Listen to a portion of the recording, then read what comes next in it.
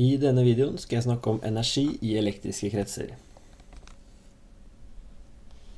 I et batteri så blir elektronene i en elektrisk krets tilført energi. Den energien elektronene blir tilført, blir avgitt til de ulike komponentene i kretsen.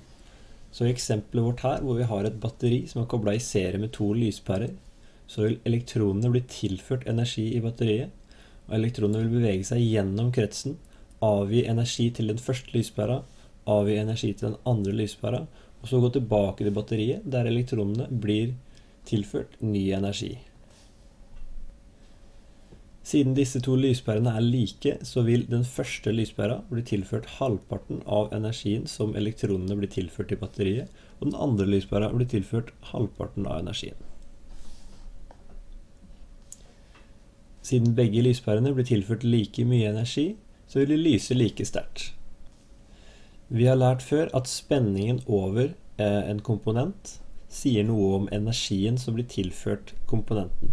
Så hvis begge komponentene blir tilført like mye energi, så må spenningen over hver komponent, målt med et voltmeter, må være lik over begge lyspærene.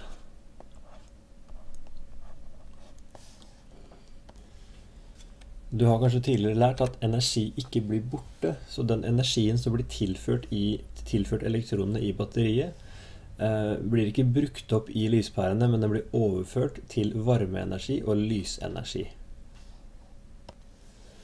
Summen av energien som blir tilført elektronene i batteriet, er lik summen av energi som blir avgitt i hver lyspære.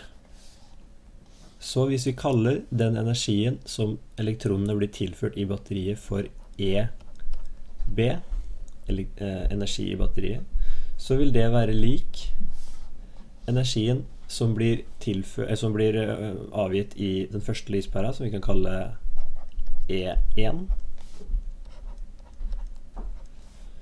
pluss energien som blir avgitt i den andre lyspæra, E2.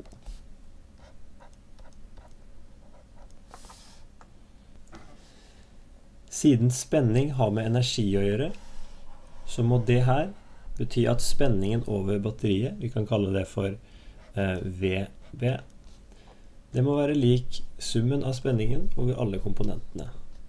Eh, V1 pluss V2. Altså spenningen over batteriet må være lik spenningen over det første lyspæra pluss spenningen over den andre lyspæra.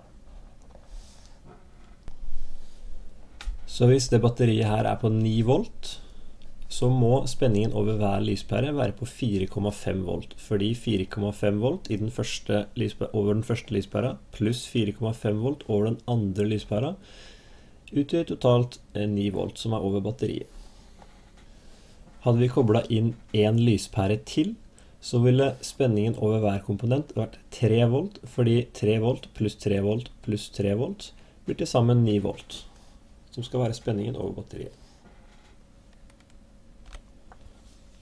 Styrken på elektriske apparater blir gjerne målt eh, ut fra hvor effektive de er. Effekt det er energien som blir til overført til eh, det elektriske apparatet fordelt på tiden, og effekt måles i watt. F.eks. så måles styrken på lyspærer i watt, og vanlig er 40 watt. 1 watt er definert som én hjul med energi på ett sekund. Altså én hjul energi hvert sekund. Så lyspæra på 40 watt Den vil avgi 40 hjul med energi hvert sekund. En varmeovn på la oss si 2000 watt vil avgi 2000 hjul med energi hvert sekund. Vi kan lage en generell formel for effekt, der effekt målt i watt er lik energi delt på tid. Hvis vi kaller eh, hvis vi gir effekt symbolet P for engelsk power og energi symbolet E og tid symbolet T, så vil ligningen se sånn ut. P, power, er lik energi fordelt på tid.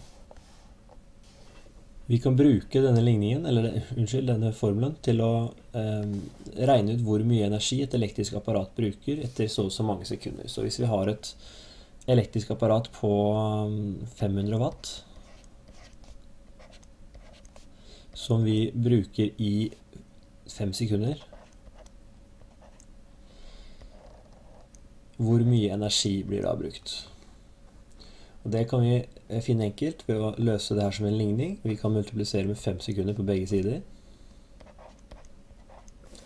Slik at dette vil strykes mot hverandre, og vi kan multiplisere med fem her også. Og vi får fem sekunder ganger 500 watt. Det skal være lik energien. Og vi finner at da det er 2500 hjul. Så et apparat på 500 watt som du bruker i 5 sekunder, vil bruke 2500 hjul med energi.